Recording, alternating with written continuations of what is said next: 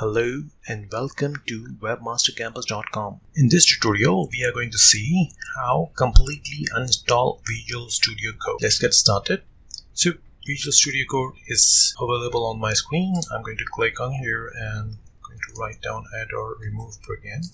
Okay, so it will open add and remove and I'm going to write let's write down studio code and it will just show me the Visual Studio Code over here. Okay let's close this Visual Studio from here and I'm going to click uninstall this okay? So, so here is with the prompt and it is saying are you sure you want to completely remove Visual Studio Code and all its component? I'm going to click yes over here okay? So we got the message that it's completely removed from systems. Okay now now let's go and type the command okay? Inside of it we are going to write down user profile and here we go with our user profile. Inside of user profile we will go uh, Visual Studio Code and we can see there is an extension folder is available. So Visual Studio Code keep all the extensions in under the user profile. So even you uninstall it it will not uninstall the extension.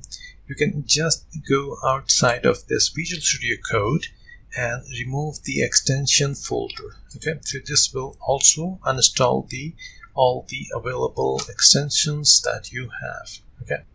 Once the extension will go you can even do just remove the folder log, it's all up to you. Then we will need to go inside the app data code.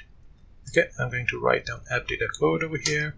And here we go in the app data code so uh, here we need to delete the complete directory. Okay so you can just uh, click on this one and it will delete all the code Visual Studio Code related directory. So it will remove all the logs dictionary all it has inside of this folder.